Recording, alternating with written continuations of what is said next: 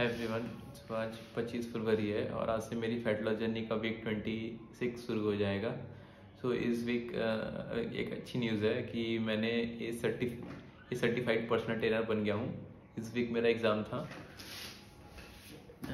मोटी सी बुक है एक हज़ार पेज की तो इसको पढ़ के एग्ज़ाम दिया मैंने और मैं मतलब बन गया इस सर्टिफाइड पर्सनल ट्रेनर बाकी इस वीक मैं अट्ठारह सौ कैलोरीज पे रहा था। और मैंने तीन या चार डेज़ वर्कआउट किया मतलब एग्ज़ाम ख़त्म होने के बाद। और अभी टाइम है वेट चेक करने का और बॉडी स्टेटस दिखाने का।